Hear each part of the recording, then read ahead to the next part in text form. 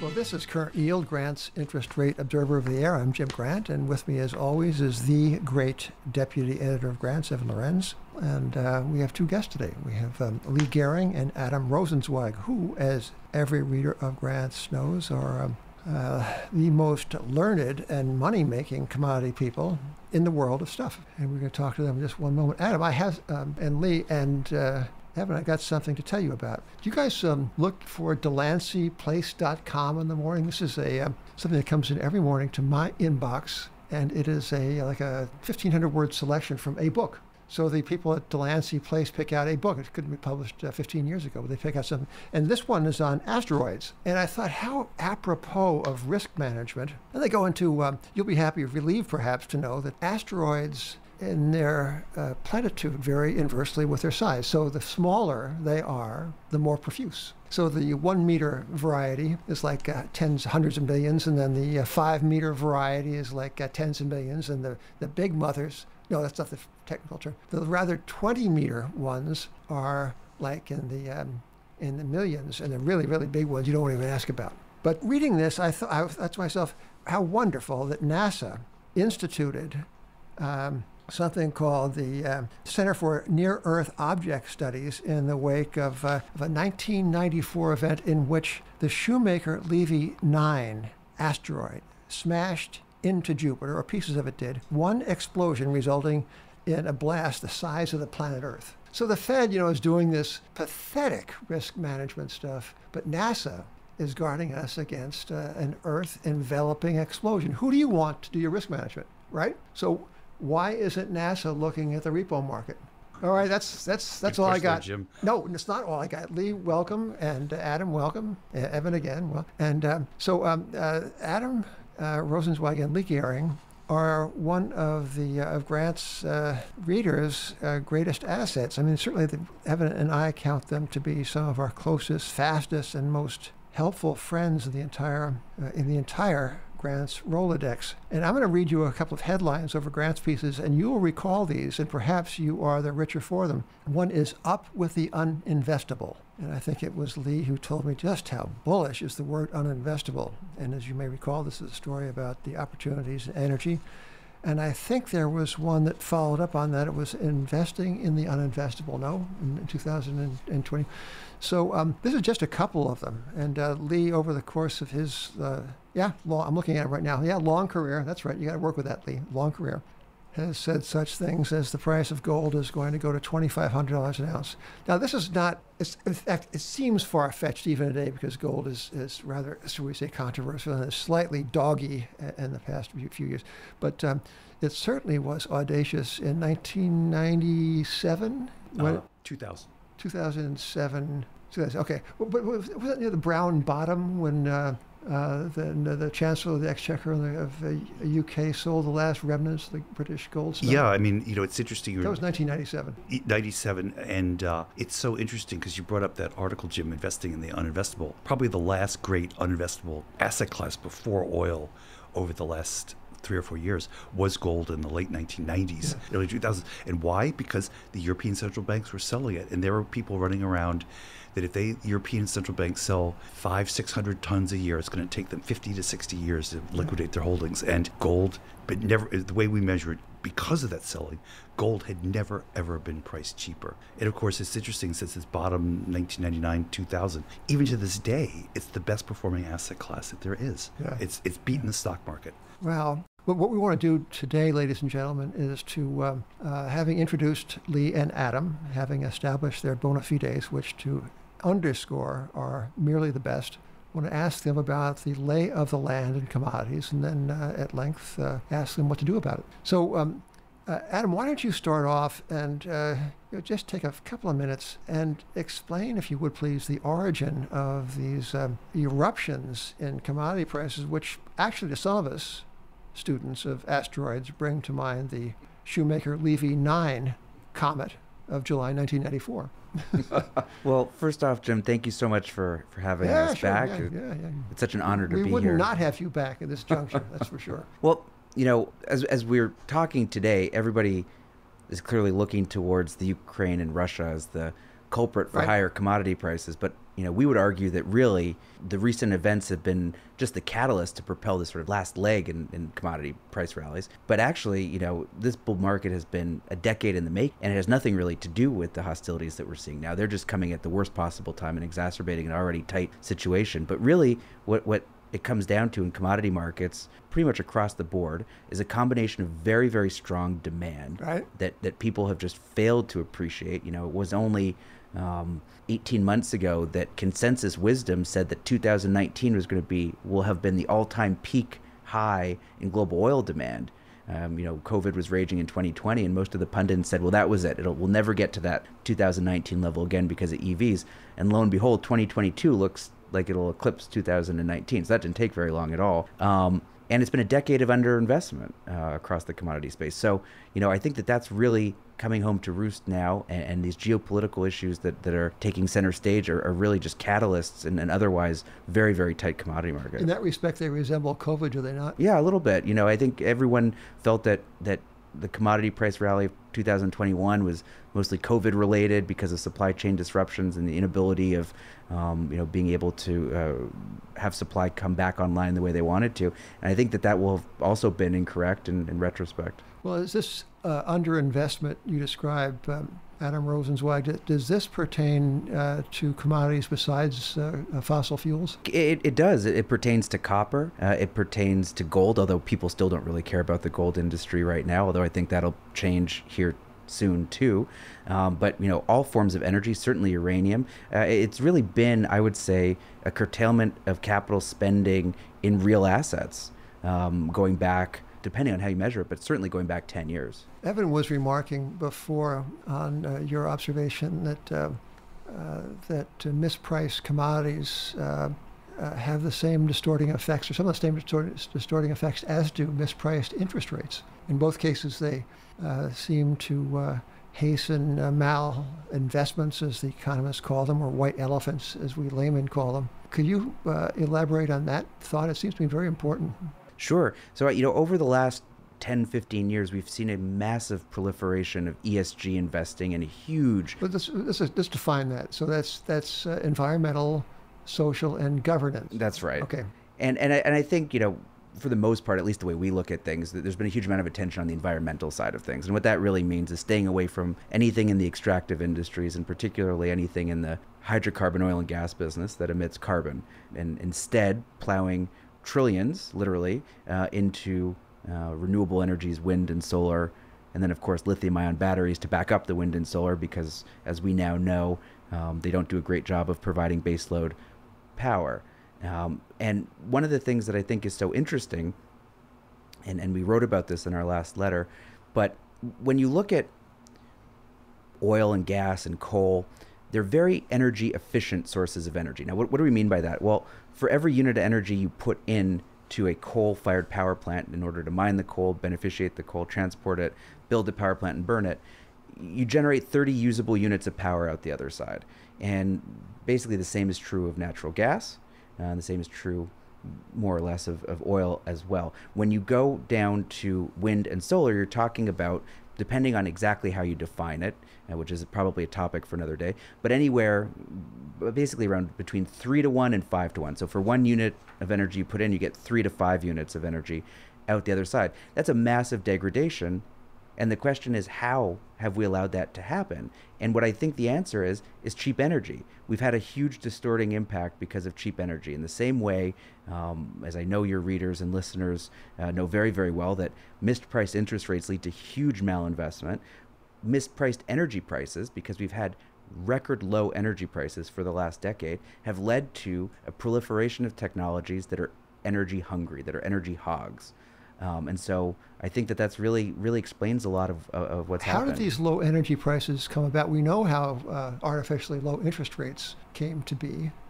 Uh, the Fed put them there to a degree, certainly at the short end of the yield curve. But what, what, what was the source of uh, these persistently cheap uh, gas and oil prices? In the hydrocarbon business and oil and gas, it was the shale revolution. And it, it, don't underestimate what the shale revolution did to the global hydrocarbon industry, that is natural gas and oil, over the last it's almost 20 years because the first great shale gas wells were drilled back all the way almost like 2000, 2001 by the old Mitchell Energy. And like I said, the results have been incredible. For example, the U.S. dry natural gas production, I think, bottomed in 2006, 2007, at a little below 50 BCF a day. And literally by 1999, you had almost hit 100 BCF a day. You had doubled gas production in the period of about whatever that is, you know, 14 years or something like that. What were those years? What were those years again? 2006 to 2019 and you double gas production. And of course, what's interesting about the U.S. gas market, this has been a huge boon to the U.S. consumer, is the U.S. gas market is, is, a, is a closed island. Is that you can import gas in, you can export a little gas out, but you can't export for example, LNG out, or at least you couldn't starting, you know, before 2000 was 2010, 2011, when the first LNG exportation terminal had. So if you had too much supply and not enough demand, the price had to fall so that supply and demand would fall. So what happened was is that traditionally if you go back from the you know the mid 1990s all the way up to 2006 2007 the gas price traded at its BTU equivalent with oil which was basically somewhere between during you know when there's a slight gas shortage it was getting as low as 4 there was um, it was measuring the ratio of gas to oil was 4 to 1 where 6 to 1 is basically the BTU equivalent and then when you know there'd be uh, warm winters or something like that, more supply than demand, it would get as high as like 10, 12 to 1. Well, after the shale revolution really started to roll, the gas shale revolution, that ratio got completely unhinged from its BTU equivalent. In fact, there were periods in, say, the mid 2000s where the ratio was 40 to 1. And even today, it's still 20 to 1. I mean, the US gas molecule is radically cheap relative to its hydrocarbon value. And that's because of the shale gas revolution. And same with oil shales. You know, the oil shales were delayed a little bit, um, came about 10 years after the gas shale revolution and the first successes in the Bakken and in the Eagleford and the Permian. And we had a disequilibrium in the U.S. oil market as well. So oil prices, you know, got ridiculously low. Um, so you pointed out that the technology to actually fracture or hydraulically fracture a horizontal well has been around for a little over 20 years now. However, the shale revolution didn't really take off until after um, you know the financial crisis. To what degree was the shale revolution a product of a change in technology which had been around for a little while versus a change in very very low interest rates which allowed these companies to raise debt at very low levels and plow capital into this new technology that had been around for you know 10 or 15 years at that point? Well, I think that was definitely part of it, but you know the industry was getting better and better, and so you know the first really, if you go back, like Leigh was saying, with Mitchell Energy, ended up being Devon, um, they're the first people that, that really sort of cracked the code of, of shale on the gas side of things. And that was a really iterative process. So it just took a huge amount of time to kind of dial that in. Um, and then there was a view for a long time that shale oil would never flow because it was a much larger molecule. So I think certainly, you know, if, if you look at the industry, they outspent cash flow and there's a huge um, view that, you know, they were capital destructive uh, and, and low interest rates and debt uh, played a huge part of that. But, but I think it was also the, the working their way up the learning curve uh, as well. And there's also there were two I would call them massive shale gas discoveries. And discovery is not the right word because we knew that the Marcellus shale had hydrocarbons in it from going back to Colonel Drake. I mean, that's the source rock for Colonel Drake's discovery. And they figured out how to make the Marcellus gas productive starting in the like 2009, 2010. And that was a very rich shale gas play. And shale gas production from the Marcellus went from zero, say in 2010, to 2019, it went to almost over 25 BCF a day. I mean, that is absolutely incredible. That one field was representative of the 50% of the total gas supply increase over the last 10, 12 years. You know, a point I think that you have made uh, very well and, uh, and fairly recently is that this is the first time in the history of uh, energy uh, commerce that the world has chosen a less efficient means of producing energy than the one it, met, it is intended to displace, right? So, always in the past, uh, revolutions in energy have been about uh, progress in cost and efficiency.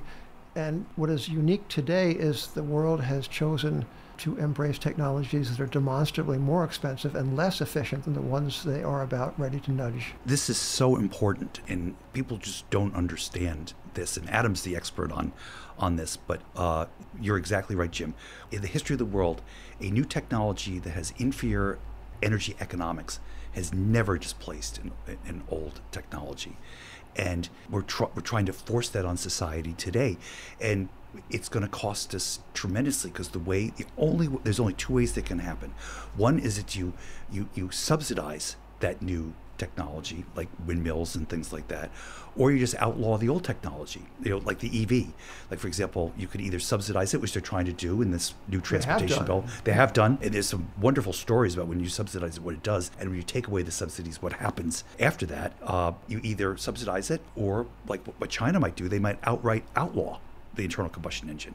But other than that, the EV will never displace the internal combustion engine. And and that's where I think this idea of the distortions of cheap energy really come into play because you can account for the inferior energy economics and you can really see it sort of plain on paper right there. And the question is just, well, how have they been allowed to proliferate then over the last decade? How can we go so far down this path? And that's where I think the analogy to interest rates and cheap credit come into play. You know, so the last 10 years have been unique for two reasons. And the first is um, as obviously your readers know, 4,000 year history of interest rates never been cheaper. Uh, money's never been cheaper. And the second is every source of conventional energy has fallen by 90% from peak to trough, whether it's oil or gas or coal or uranium or renewables. Everything's fallen. You know, we, we hard pressed to find a decade that has seen every primary form of energy fall peak to trough 90%. And then you take a step back and you say, well, here we've had this huge proliferation of a technology that is two things very capital hungry and very energy hungry. And I think that the reason, when you put it in those terms, you begin to see the reason is because we've had distortive low interest rates and distortively low energy prices. Plus zero commissions from Robinhood. Uh, in your fourth quarter letter, which I recommend everyone reads, you did point out that the cost of solar had dropped like 80% in the decade ended 2020. But then you dug into why did that price drop? And almost all of it was driven by the primary input of energy going down. And you pointed out that last year, polysilicon, which is kind of the primary raw component to actually make a solar panel, has gone up by uh, what ridiculous percentage was it? Oh, I think I think it went up by three or four hundred percent last year. Which is a pretty big, ridiculous Huge. percentage. And you know, this is not just academic, and it's funny because when we started the research a year or 18 months, two years ago, it was a little bit academic. And, now you're starting to see some real impacts, and you can see it. Um, if you look at polysilicon prices, are now they're moving higher, and you know, like I said, it seems difficult to see how efficiency can overcome the fact that your primary input cost is going up three to four x. Um, similarly, lithium-ion batteries, which I should point out, you know, if you read Bloomberg NEF, which is New Energy Finance, the only question was how fast those prices could fall. It was never a question of would they go up. And sure enough, 2021 they actually went up. Bloomberg NEF uh, blames um, COVID, as so many people Weather. do. um, exactly, in, in, in those open air battery factories. but you know that's likely to, to happen again in 2022. And most recently, which got no press at all, but LG just announced that that they're actually going to be shutting a renewables plant in the United States because their raw material costs uh, mean that it is no longer economic to generate. So for the last decade, we've had cheap and cheaper energy, and in most cases, you said it fell 90%. Um, we're recording on uh, Wednesday, March 9th, and I only say that because prices have been so volatile that your Bloomberg might show a different price later, but energy is not so cheap anymore. And in your fourth quarter letter, you're pointing out that not only has demand outsurpassed uh, supply growth over the last couple years, but because we've invested so little, we're actually at the risk at the end of this year, and you wrote your letter before Russia invaded Ukraine, of running out of spare uh, capacity in oil in general, which I can't imagine was made easier by Russia's invasion of Ukraine. Yeah, no, it, no, Evan, this is so important, and people don't don't pay any attention to this because demand has been so strong. And how strong has demand been? Well, we've been harping on, on this forever.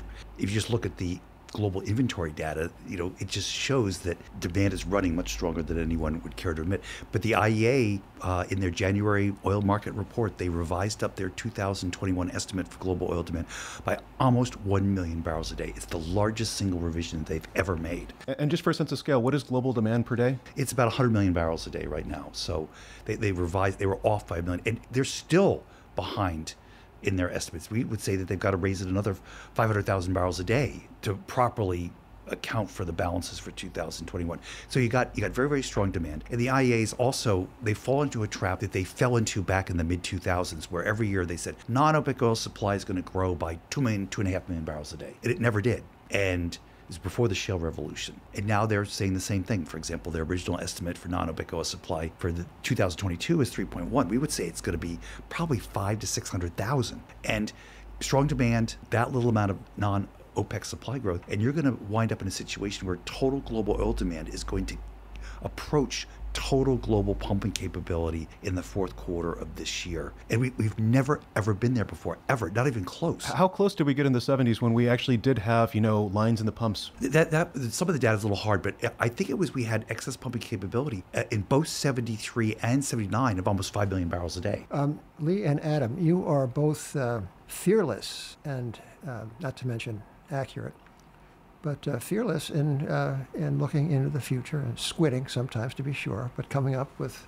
price forecasts on commodities uh, that seem outlandish until they seem rather mainstream. All right, so um, I, I want to draw you out on your expectations for various commodities, and then uh, we will conclude with uh, some ideas on how um, our listeners might uh, go about patronizing the Goehring and Rozencwajg firm, um, what uh, people can think about doing to uh, uh, to profit by these trends you see. So, all right, so let's. Uh, so, where is it? gasoline is uh, a four dollar item some places, some other places a little bit less, some places a lot more. Was, this is an election year, congressional election year. Where is where's the price of gasoline going to go? I, I still believe, and I've said this is even before what's happened with Russia, given what Evan we're just talking about, that we're going to bump up against total global pumping capability we don't know what that world looks like. So the question is obviously when a system gets overloaded with demand, all sorts of crazy stuff, things happen. So is it possible that oil has a spike to $200 at some point in 2022? I would say the odds are becoming more and more favorable that that, that could very well happen. Oh, a lot, a lot of people uh, ask us where demand destruction begins to kick in, right. and that's a really difficult question. Um, and you know, the the elasticity of gasoline is um, very, very inelastic, and and and so what we know in the past is when um, oil demand gets to be about uh, five percent of an economy's GDP, uh, there tends to be um, a headwind to global economic growth or to that country's economic growth. And, and, so I think using that as the you know very very broadest of um, of, of, frameworks, you're talking about 150, 160 dollar oil before you really start to see demand destruction, and you can obviously spike it past that. Uh, so what would that imply basis. for gasoline at the pump? Gosh, I think that's probably what close to six dollars. Yeah, six dollars, I would say. M- maybe to ask it a, a, little bit differently. So we can predict supply a little bit better than demand. Demand's a little bit tricky, although it seems to be growing faster than at least the authorities uh, predict. How much of a recession do we need on a global scale to actually balance supply and demand, just where you see supply based off of today? That's what's so interesting, isn't it? I mean, if you go back and you look at COVID, we're talking about four or five million barrels a day uh, of lost demand, and, and that basically required everyone staying at home. Um, you know, so in order to get sort of half of that, you know, it's a pretty serious recession. I mean, if you just do, do a read through of, of what uh, the oil demand figures looked like at the worst parts of COVID and what some of the GDP numbers were looking like and the fears thereof. I mean, it, it's pretty dramatic. Yeah. Let's, let's talk about um, agricultural prices, uh, row crops. Um, you know, Ukraine and Russia are not, not just, um, you know, um, energy hubs or producers, but they are also uh, central to uh, world fertilizer production and to grain export. So, what do you see coming out of all that?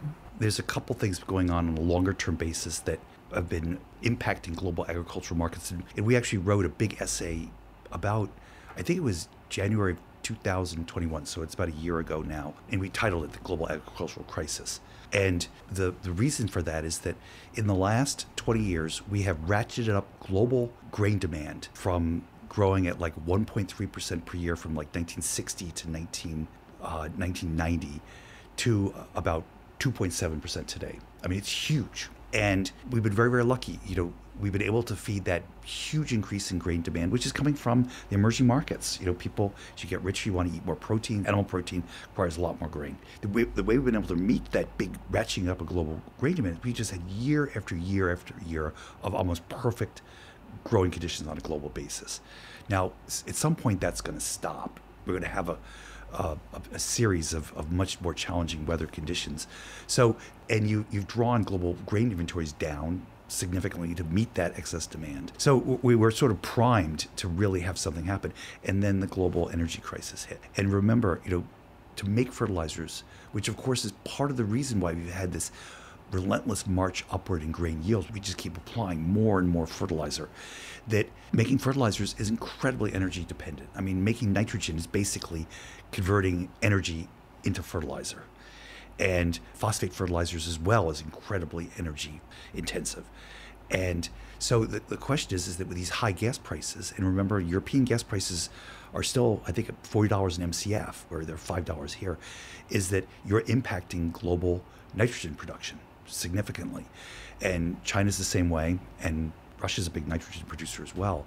And so what's happened, they've curtailed production in both countries because of high gas prices and have actually have actually put in export restrictions on nitrogen and phosphate. So we're developing a global fertilizer shortage.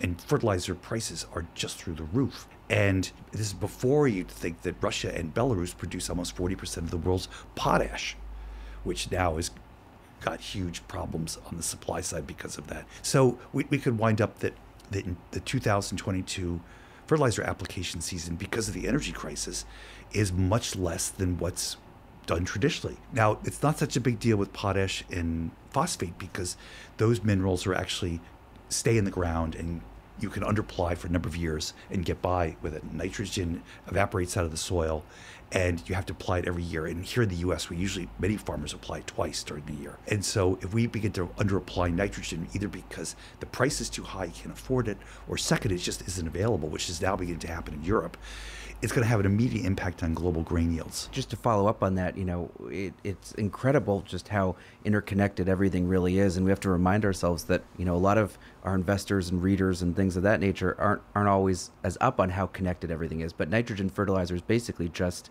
natural gas, uh, which is converted. Um, and so now you're shutting capacity all over the world. Yara just announced today that they're shutting more capacity. And so you have a situation where, for the last number of years, you've been on this razor's edge where demand has been so strong and it's been met every year by record breaking yields. And to get record breaking yields this year seems almost impossible given the fact that we're just going to have such a fertilizer deficit. And so I think, you know, that's probably honestly one of the scariest markets of all. And that's also, we don't know about this, how it's going to play out, but, you know, obviously Ukraine, the world's great breadbasket, there's talk now that they may not even get a, a planting in this spring because of all the disruption. So you know, you, it, it's interesting because it's it's been slipping into this crisis mode for for a long time, and no one's paid any attention to it, and now it's right in front of us. As in energy, people are overlaying the, the war in Ukraine as the common instigator of price action. And you two have shown through your work, very prescient work, that uh, the groundwork for all this was laid uh, for many years before. And the, the date of getting your piece on, on coming food shortages was in uh, 2021, right? Yeah, 2021. Okay, so, so row crops are um, big bull markets and conceivably um, have uh, uh, shocking upside potential, or is, am I being over dramatic? Uh, it's, it's hard to say now. Wheat prices are record high, and wheat prices have had three major spikes in the last 50 years. One when the, you know, the great grain robbery announced by Nixon, I think that was 72, I can't remember, where Nixon unexpectedly sold a huge amount of wheat to the Russians. Um, and then again in 2006, 2007, and now today. And so wheat prices are spiking. Now the question is, do they do a spike even higher? I don't know. Uh, my gut feel is that most of the wheat has been price has been advanced. It's been incorporated in the price. Yeah, I think my commodities uh, wise man mentioned years ago that commodities quote don't hold expectations. you know, stocks do, financial assets can. The narrative can sustain them, and commodities are much more, as it were, down to earth. Yeah. so okay, so we have seen huge moves in the row crops already. That leaves us with uh, a nickel, which uh, over the course of 24 hours uh, went, uh, you know, up 250% or something like that, and then it didn't because they canceled the trades. Yeah. right. Yeah. So, so uh, okay. So that brings us to the, the question of this podcast. So uh, let me invite you to uh, give me give us a discreet infomercial. You guys are not only in the business of prognosticating and, and writing essays, to be sure, but you're also in the business of managing and have been for many years in the business of managing money uh, in the commodity markets. You're still doing that. Um, uh, how are you apportioning those funds, and and, and uh, entree does the public have to what you were doing? Well, I mean, the way our portfolios are structured today, obviously, we're still very, very bullish on oil and U.S. natural gas because U.S. natural gas could very well be the next commodity market that unexpectedly develops a crisis that comes out of nowhere. Uh, so we're very, very bullish on the whole energy complex, which is both oil and gas. We're raging bulls on uranium, and we have been for a number of years. We think that uranium prices are going to go significantly, significantly higher than where we are right now. We have about 20% of the portfolio in in uh, Is it chemical? How, how does it? How do you express that? yeah, now on the, on the producing side, it's very, very difficult. Uh, there's only two real big uh, producers out there that you can invest in. One is uh, Kazatomprom, which is the uh, Kazakhstan National Uranium Company. Is that Kazakhstan, Pennsylvania? Or Uh, yeah, no, no, it's it's it's uh, it's the wild Almaty, the wild west of the USSR, former USSR. Um, that went public. I'm going to take a guess back in uh, 2019. Um, it's a great company, but you do have the political risk of investing in you know Kazakhstan. Uh, but the stock is incredibly cheap. It's trading about six times earnings right now. Why is that? Well, it, Never mind. Okay. Okay. P- political risk in a former Soviet republic? I, I'm, I'm shocked. It, and so, but you do you have Cameco, which is another uh, you know that's a good producing company with very very high quality assets, um, and you do have two really good uh, pure play uh, uranium plays. You know the Yellow Cake that trades in London, and the the Sprott Uranium Trust that would trades here in Canada, and uh, both of them track the spot uranium price. And I would recommend those are very low risk ways to play the advancing uranium prices. So far, um, Russia has said that it will retaliate against the West sanctions against it, and it's going to limit the export of certain commodities. Do we have any clue whether uranium is going to be on that list? Because Russia is one of the big suppliers of uranium for power plants. Yeah, it, that, that's a real risk because one of the things that the West has not invested in for a whole variety of reasons is the entire uh, nuclear enrichment aspect of it. Because you know when you when you mine uranium, you turn that uranium into a gas, then that gas is enriched through the enrichment, which is incredibly energy intensive. And uh, don't hold me to these numbers, but I think that something like 40 to 50 percent of uranium enrichment takes place in Russia. So, and you know, you that's the, the then the enriched uranium is then put into fuel rods and then is loaded into a nuclear power plant. So that's how they would get us right there. Not the uranium itself, but the enrichment. President Putin has mentioned the possible export of nuclear warheads. Well, well, you know, but you know, th- that's no joke, Jim. That was called the what was it, the uh, megawatt, megaton to megawatt, or megawatt to megaton exchange program that took started mid early 1990s, where the U.S. agreed to buy uh, Right. Yeah.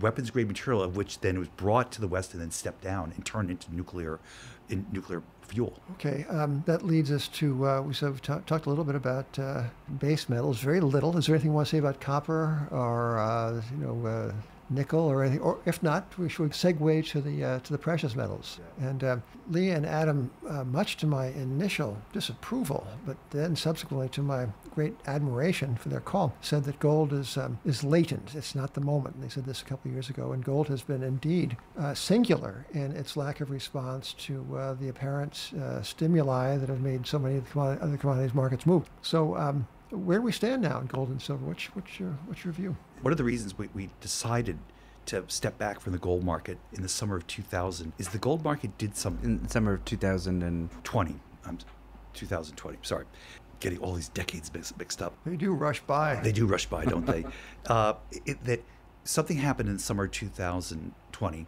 which has only happened a couple times since gold was really freely traded that was started basically in 1971 and that's silver which you know there's a belief that silver leads a really good bull market and that's not true at all.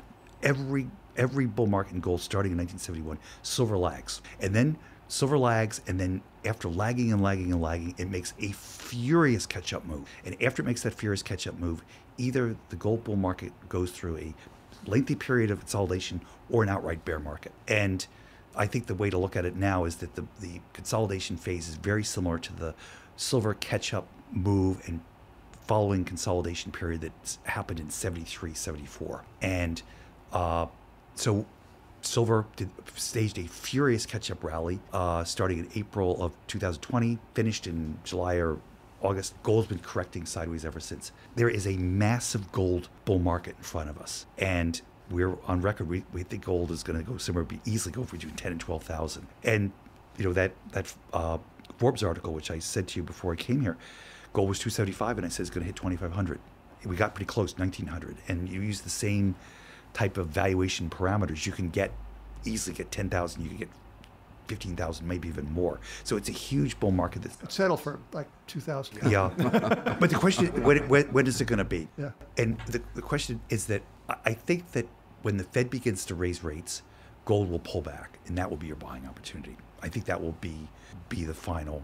And if you if you really want to get down into the technical weeds, the last bottom in gold was made in August of 2000, 2018 when gold speculators went net short and gold commercials went net long on the market for the first time uh, 2001 Uh, Leigh, if we just have to wait for the Fed to raise rates, again, we're recording this on March 9th. I believe the Fed meets next week. Yeah. So do we just wait for seven days? I, I think by the time the podcast comes out, it may actually. You, you, were Well- saying, you were saying that when the Fed begins to raise rates, gold goes down. Yeah. I think it will. You know, similar to what it did again using the It doesn't matter that the uh, what was uh, the, the Taylor rule would prescribe a 9.55 percent funds rate, and it would take 38 Yeah. one quarter point. Well- you have to wait for 38 quarter point raises for to get bullish again. well, I, I think I, I, I, that like, it's things like the Taylor rule, which that's why gold has to be priced at fifteen thousand dollars an ounce.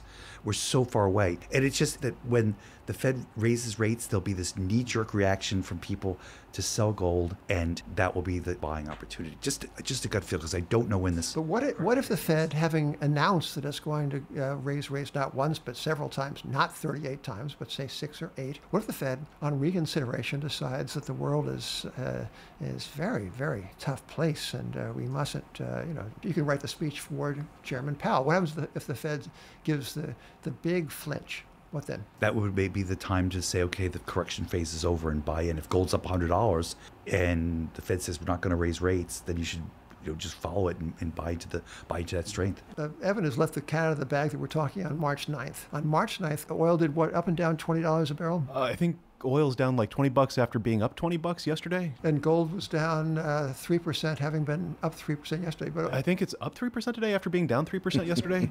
So, but but, but in, in, in stocks, according it's it is notorious that uh, um, maybe this is you'll tell me whether it's, it's this is a, a helpful piece of lore or not. But um, uh, bear market. Um, uh, rallies are meant to be uh, especially ferocious, and uh, and pullbacks in a bull market uh, similarly supposed to be violent. So is that descri- is an accurate description of what happens in the commodity markets? So is it should the bulls on these things be discouraged when oil pulls back uh, like 10% in a day? No, in fact, I think this is like you mentioned, Jim. This is a classic. When a bull market starts, the pullbacks are incredibly violent, and oftentimes you you give up two thirds of the advance. And every time it's a buying opportunity. And you know, in the webcast we did today, I said if we wake up tomorrow and Putin r- withdraws from the Ukraine and the oil's down is down thirty or forty bucks, whatever, I said buy as many oil stocks as you can. And that's that's my advice because all the fundamentals we just talked about Yeah. aren't going away. On, on the short term versus longer term, your analysis based off of kind of looking at the supply demand factors for each commodity. And in each commodity, you find that we've just underinvested massively for the last decade, so prices need to go up so we can invest enough to actually meet demand. Um, along the way, we're probably going to f- have a few recessions, as you said. If oil gets to $160, that's the critical threshold at which economies tend to slow down. So, how do you kind of temper your longer term views versus kind of the shorter term, where we could very well have a global recession or a recession in North America that could lead to a temporary correction? But at the same time, I imagine that doesn't fix the longer term. We've not invested enough, even if we've temporarily suppressed demand. I'll, I'll answer that, Evan. I, I think that there's going to be a new source of demand of which absolutely no one except you in your last issue hinted upon it. There's going to be a new source of demand that absolutely it, it- no one is talking about today. And when inflationary psychology begins to grip hold and people begin to worry that first I can't buy it at today's price because it'll be higher in the future, or maybe I won't be able to buy it at all. What do I do? I go out and buy more. And the, you know we, we're, we've been running in a zero in time inventory system now for 20 years, and we're realizing well maybe we should have a little bit more. And the other thing too is remember going back to the 70s, Jimmy. Remember what was one of the biggest sources of of corporation's profit was inventory profit. And you know, it got so bad that they had to change the accounting system. We went from FIFO to LIFO to, to remove the distortion of inventory profit. It was so big. And so the question is, if I'm a company and I decide, well, you know, I like inventory profit and you know, it makes sense to hold excess inventory, that's a whole nother level of demand that comes in that no one has appreciated. And so I think that that, you know, the demand could come from this new source that we worry about recessions and things like that. But the, the demand for inventory might be massive going forward the next five years. Well, ladies and gentlemen, we have been talking to um, the principals of Goehring and Rozencwajg Associates thinkers and doers about commodities, and uh, preeminent ones in Evans, in my opinion. Um, Evan, didn't you talk to uh, Leigh and Adam on your fine, fine Halliburton piece? Oh, indeed. Uh, I, I, every time we do a commodity-focused story, I want to get at least the, the health check from them saying, A, I'm not off course, and B, it might actually work out. And if I can't get those, I don't usually proceed. Yeah, right. I feel the same way about uh, things at home. I always check with my wife. um, but uh, anyway, it's been great having you, Adam. Uh, Adam is also a, apparently a skier, such that he is not afraid to ski in Switzerland, where they, they don't just have hills; they got mountains. and, uh, well, welcome back to America, Adam, and thank you for being here. Leigh, thank you for being here. And thank you very much, Jim. I really enjoy being able to come over and do this. Yes, thank and, you so and, much. And Leigh and Adam, how can we forget to give our own infomercial? Uh, Evan, Adam, um, and Leigh are going to be speakers at the Grants Conference on October 18th at the Plaza Hotel in New York. We do this once a year now, and um, they are. Is fabulous the right word for? I, I think so. Right? No, no disagreements around the table. So, Evan, what are they going to say, right? Something different than what they said today. well, ladies and gentlemen, thank you again for being with us. This is Jim Grant on behalf of Current Yield, Grant's interest rate observer of the air.